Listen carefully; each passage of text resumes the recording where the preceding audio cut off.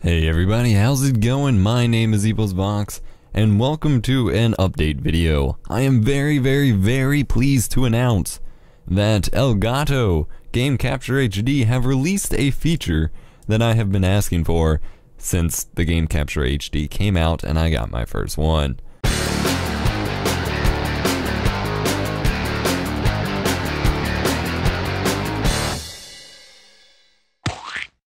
This video was made possible by contributions to our Patreon campaign by viewers like you.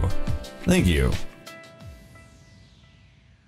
I now have two of them. One of them is a replacement and I love their products, but I have been asking for a feature that actually is present in Dxtory that makes Dxtory hugely advantageous over Fraps, and that is the idea that it has multiple audio tracks that it records at one time. This allows you to record as many audio tracks as you wish and mix and master them separately in post-editing on your own instead of relying on balancing them as you record videos. This is hugely advantageous towards editing and towards cleaning things up in post-production. However, it's one feature that the Elgato software and most game capture, you know, capture card software for consoles have lacked forever. It's something that's actually really hard to manage in capture card software, but just recently, and actually just today as far as recording goes, they've pushed out a beta update which enabled this feature. I've been begging them for this feature, like I said, since it came out, talking to them on Twitter, talking to their engineers over email. They have finally pushed it out. It is a beta update. It is still in beta, and it is not even available for Mac at the moment. However, it will be in a full release very, very soon. So basically, the idea of this feature is to allow you to eh, record your commentary on a second track and edit it and clean it up or completely delete it if you want in editing and then upload your video, you know, as such instead of having to and I will show you in just a second instead of having to balance the audio in the software and it, it was it was a pain in the butt and I actually scrapped a few let's plays because my audio got out of sync because I was trying to record it in separate audio software and it wasn't fun, but they've finally updated the software. So to get it, all you have to do is go to gamecapture.com slash beta, and then download and install the update, and then open their software. Alright, so when you first get the beta software up and running, you're going to see the little beta icon up here in the corner, and then you're going to see what is normally set up for the audio setup. Now, what you previously had to do, which was a royal pain in the butt, was you had to turn up your mic volume, enable it, turn on automatically reduce game sound, maybe mess with the threshold and attenuation, turn down the game audio, and hope you get a decent balance. Maybe run a few tests, but overall just hope you get a decent game, you know, balance in the audio, and just hope that it worked out. Thankfully, you no longer have to do this, so once you get your thing set up, leave game audio up as high as you want. I put it at negative 2 so it doesn't go into the red too much.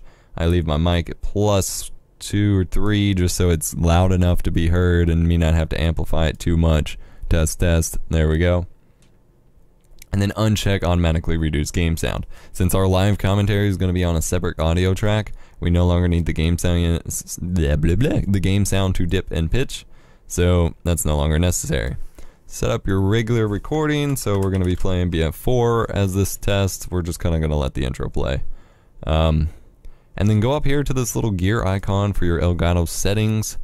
Now by default, record live commentary and a separate audio track is already going to be selected because that's the point of this beta. If it is not selected, make sure that's checked as that is what we're going for.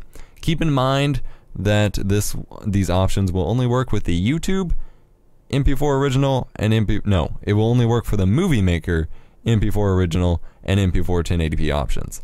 If you export it to YouTube, Facebook, anything like that, it will automatically just throw a mix of your game volume and live commentary in there. You do not want that. So in order to do the live commentary stuff, you need to export typically as MP4 original. If you know for sure your video is 1080p, then you can do 1080p. But like Battlefield 4 only runs in 720p on PS3, so we're going to do MP4 original here. And then there's two more checkboxes you need to check. That is mute live commentary and exported video.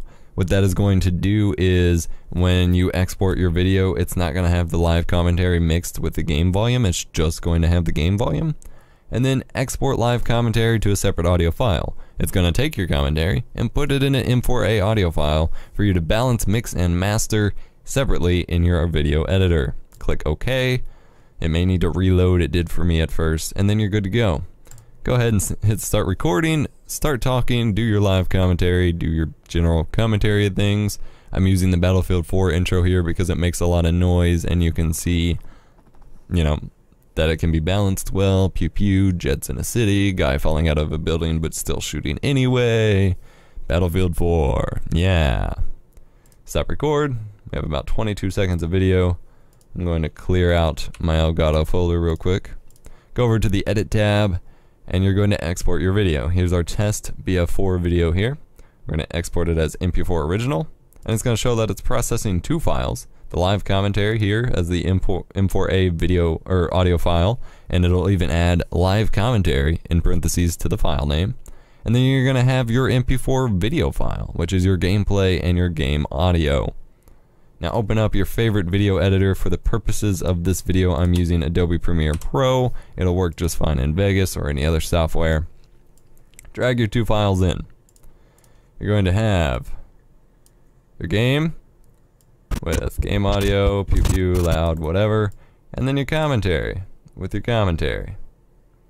Now, unfortunately, at the moment, which it is somewhat, you know, it is a beta, so hopefully they will get this fixed and I will be sending them feedback myself. It's not 100% in sync. There's a bit of a time difference here. Um, but as far as I know, it records your commentary earlier. So then if we delete this and play it back here, Go ahead and hit start recording, start talking, do your live commentary, do your general commentary of things.